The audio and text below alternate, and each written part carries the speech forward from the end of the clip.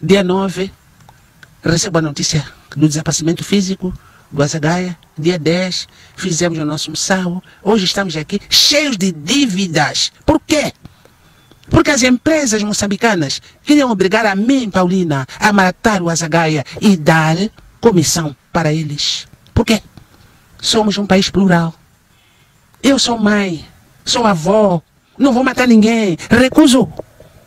E se eu estou assim, como estou, é porque há qualquer coisa que não está bem neste país, que precisa ser visto. Mato a Zagaia, mas dá-me comissão a mim. O que é isso?